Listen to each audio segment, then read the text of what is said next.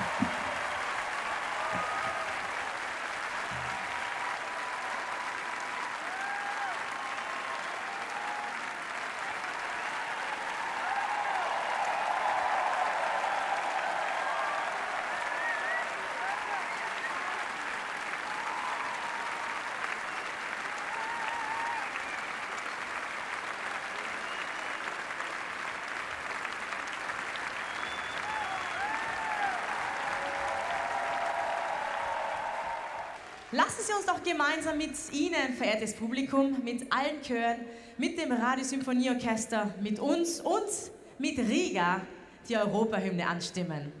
Wir bedanken uns im Namen aller und wünschen Ihnen von hier aus, von Wien aus, 100 Jahre nach Beginn des Ersten Weltkriegs, wünschen wir Europa eine glückliche und friedliche Zukunft.